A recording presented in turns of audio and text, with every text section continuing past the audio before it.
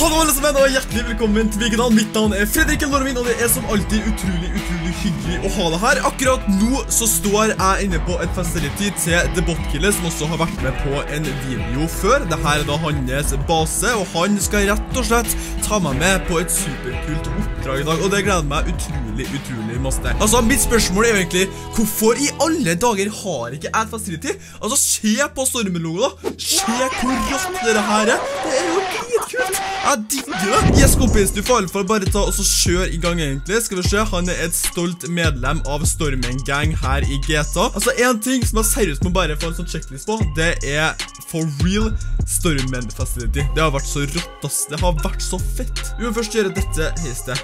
Det heistet der. Ja da, kjør på, mann. Kjøra på, tenker jeg. Let's go. Whoop, whoop. Hva sa han igjen? Whoop, herregud, det her blir bare sinnssykt rått. Nydelig. Han hentet motorsykkel. Deilig, ass. Det er superviktig. Skal vi se. Hei, botkiller, jeg må på hjelm, jeg også. Botkiller har store sakerne. Den er grei, den er grei. Men å kjøre motorsykkel, det har du vanskelig for, botkiller, hæ? Fy flate. Åh, virkelig, virkelig, virkelig. La oss altså sette oss til sjefsstolen, da. Og så uh, ser vi på hvor vi skal dra hen. Jeg regner med det at uh, vår kjære komrede amigo botkiller vet hvor vi skal hen. Mens jeg bare scouter her. Boom! Ups, ups. Oi da. Oi, det var ikke meningen. Det var ikke meningen. Ikke rasj, ikke rasj, ikke rasj, ikke rasj. Botkiller, jeg har suttet på meg før. Ikke krasj. Å, herregud, Jesus Kristus i hele korset i Jerusalem. Å, fy flate, den arme. Får jo 250 puls han hver gang botkiller kjører fly eller helikopter. Se der, da. Der, ja, ja. Ikke krasj inn her nå. Altså, jeg kan ikke på skryte meg at jeg er noe flink helikopter, altså, men uh, Altså, hallo? Å, Kiss, det her vi skal jo. Ok.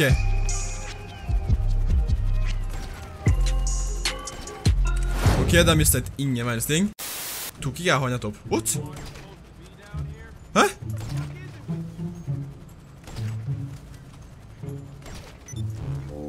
What? Hva skjedde der? Hva i alle dager som skjedde der egentlig? Plutselig forsvant alle sammen. Herregud, må jeg gå full Rambo, der? Må jeg ta frem svepperen min og gå full Rambo? Det kommer til å komme i tiden da. Jo. Å, fy flate, fy flate, fy flate, fly flate, fy flate. Å, jeg er så død, jeg er så død, jeg er så død. Ikke skje meg, ikke skje meg, ikke skje meg.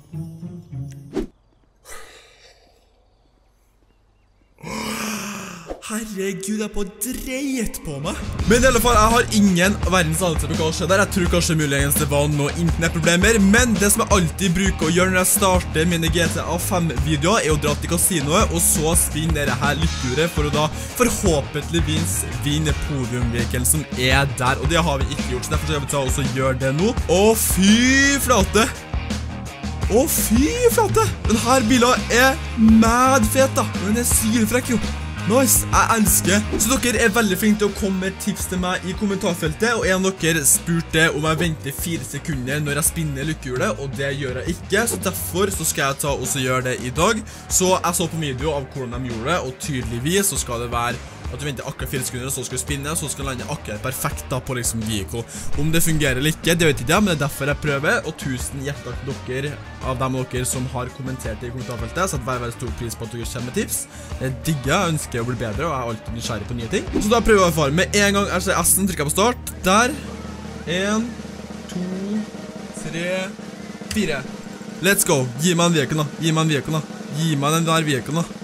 Åh, ok, jeg tror ikke det. Nei, nei, nei, gæren. Jeg tror ikke det fungerer i det hele tatt, faktisk. Jeg tror kanskje jeg var for snar. Jeg var rett og slett for snar, jeg tror det. Clothing, hvorfor vinner vi clothing? Jeg vil ta clothing. Åh, men se hvor fet den der er da. Se hvor fet den der er.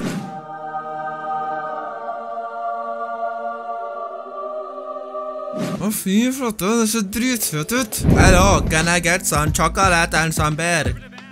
Hæ? Ah, hjelp, hjelp, hjelp, hjelp, hjelp Du bak salgen, au, au. Hvorfor får jeg politi? Hvorfor får jeg politi, hæ? Hva mener du? Sorry, det var med meningen. Skal vi se om vi kan i alle fall ta oss og hive litt granat her? Det blir for langt for dette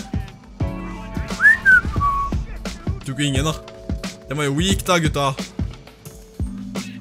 Oh shit, oh shit, oh shit, oh shit. Det var ikke meningen. Nei, nei, nei, nei. Jeg tok stormbilen Hvor er man? Og står inni der. Hva i alle dager begynte begynt å lure her?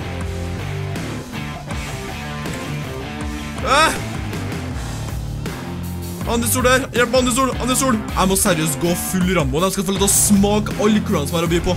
Ok, er du klar? Ok, vent da, vent da, vent da. Andesol, jeg må bare ha body armor, ok? Vent da, skal vi se. Gutta, vent da, vent da, vent da, hvis du være med, hallo? Jeg er med, Andesol, Andesol, jeg er med da. jeg er med da, kompis, jeg er med da. Nå Går jeg bak deg? Gutta, Sol, du var dritbra. Han, var med en gang. Oh, shit, nå er jeg død selv. Nei da, nei da. Full Rambo, Rambo, Rambo, Rambo, Rambo, Rambo, Rambo. Smak de kula mine, spis deg, kompis. Ikke prøv engang, ikke prøv engang. Ikke prøv engang, ikke du heller, ikke du heller, ikke du heller, ikke du heller. Ikke noen naken. Ikke prøv noe engang? Siste er på taket. Ikke en sjanse, vet du. Ikke en sjanse. Ah, det er så lett. Det er et barneskirenn, folkens. Gutta, det er et barneskirenn. Det er så lett. Ok, let's enter the garage. Her er sikkert også festligheter. Ah, shit, altså, den eneste ganger. Nydelig, kom deg inn, kom deg inn, kom deg inn. Herlig. Skal vi se. Ok, så da må vi få dra bort dit. Den er grei. Det kan jeg ta oss gjøre. Ja, det er greit, Anne Sol. Bare dra. Bare dra, Anne Sol. Jeg står i bilkø. Beklager. Jeg må ringe, ringe politi. Hallo, bilkø. Kom igjen, da. Kjør nå. Tusen takk. Jeg måtte faktisk da skyte for at jeg skulle bevege seg. Tutegjengen. Det er tutegutta. Ikke pumpegutta. Se der, da. Båtgreier. Ja, dritbra. Nydelig. Det er tutegutta på eventyr. Botkiller, kom igjen da! Ok, det er noe internet-connection min, ass, som seriøst legger. Ikke bra. Ikke bra.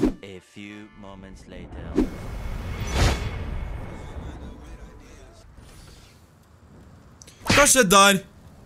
Hva i alle dager? Plutselig så ble jeg... Hæ? Hæ? Fuck this shit, I'm out. Altså, seriøst, forstå meg rett. Jeg skulle ta meg sitt liksom og kose meg gløgg her på bilen. Jeg skulle på volumet på fullt høre på Travis Scott med Highs in the Room, en av de mest killer trackene som i hvert fall jeg vet om. Og her er det i hvert fall full pølsefest. Helt greit for min del. I hvert fall, jeg koser meg gløgg her. Plutselig så bare bråbremser jeg. Blir kicka, ut fra lobbyen. Jeg var ikke med lenger i Cocaine, som er da Som er da crewet som Botkiller da har. Og hva i alle dager er det du driver med? Kan du slutte å holde på med telefonen? Slutt det der. Slutt det der. Og så plutselig bare Liva og Dispandona, og nå ser folk med telefonen her også. Du også, ta selvfølgelig tar bilde av meg her. Ta bilde av meg. Ikke du, eller? Å, fy flotte, vi skal til Fort Sanduko. Altså, selveste Area 51. Vi skal tilbake, folkens, til Area 51. Er ikke det helt klin kokos sinnssykt, hæ? Ikke i nesa. Ikke i nesa, ikke ta, ikke i nesa mi, ikke i nesa mi. Jeg tar den av stikk ned i rumpa di, eller? Jeg kommer ikke. Kom hit med rumpa. Kom hit med rumpa. Så da begynner vi å få nærme oss Fort Sanduko, aka Area 51, som jeg har eh, vært på før. Og det er bare vi som gjør det oppdraget her. Det har en annen kompis som heter Chris her, som prøver også å være med. Eh, aktiver. alt bra? Alt bra? Ok, undercover, vær undercover, vær undercover. Ikke si noe som helst, ok? Ja da, nei da, vi skal, vi skal ikke gjøre noe dumt, vi skal bare ta heisen, vi. Vi tar heisen opp, vi. Det er sånn vi gjør det. Gutta boys tar heisen, går i trappa, vet du ikke til top floor. Ok, her har jeg faktisk aldri vært før. Her er faktisk råkult. Altså, fy flate, du kan gjøre mye kult hvis du har penger. Ta for pistolen. Ok, ta for pistolen. Ta for pistolen. Eh. Uh. Hei! Ok, good shit, da var jeg på toppen.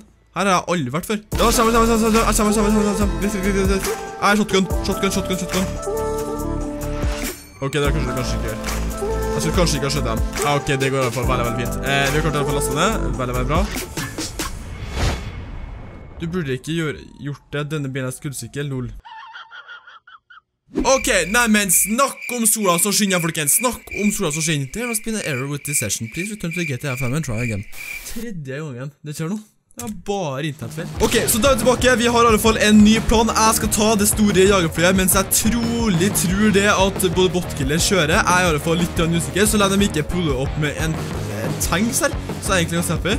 Skal vi se, du prøver, ja, ha? Du prøver, ja, nettopp, ja. Ser du det? Nå er den her. Nå er virkelig Norway på banen. Å, fy flate, sier jeg bare. Du tar det da, botkiller tar det. Nydelig. Da skal vi ta og stjele akulene. Å, fy flate. Det her er faktisk mye mer fete enn jeg trodde. Hvorfor tenkte de på det her i stad? Så vi tenkte ikke med bil, liksom. Men ok, herlig. Da får vi få tatt med oss jagerfly også. Hvorfor ikke? Skal det i verdens ting? Deilig. Og da er jeg i hvert fall på vei. James Bond ut på nye eventyr, ja. James Bond ut på nye eventyr. Det er folk her ikke da. Det er folk her også. Ok, la oss ta en rest strategisk.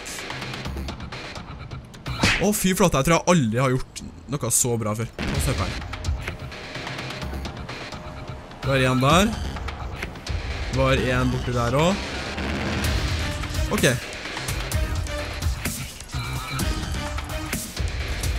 Nydelig. Herlig. Bra jobba, Botkelir. Jeg kommer, jeg kommer, jeg kommer, Botkelir. Jeg kommer ut, Botkelir. Jeg er på vei, jeg er på vei. Skal jeg dusje? Skal jeg dusje? Jeg kan kjøre, jeg kan kjøre, jeg kan kjøre. Jeg kan kjøre. Å, fy flotte sjekker her, da.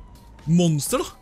Kan du fly? Selvfølgelig kan jeg fly. Så det gikk ikke akkurat i lite fastestedet her. Det gikk faktisk veldig, veldig treit, Men nå har vi endelig kommet oss tilbake. Det ser ut som nå får vi endelig en fin avslutning på det her. Vi har gjort en god del ting i episoden her, og vi har blant annet startet noen biler, fått masse internettfeil og error, og det gikk ikke måte på.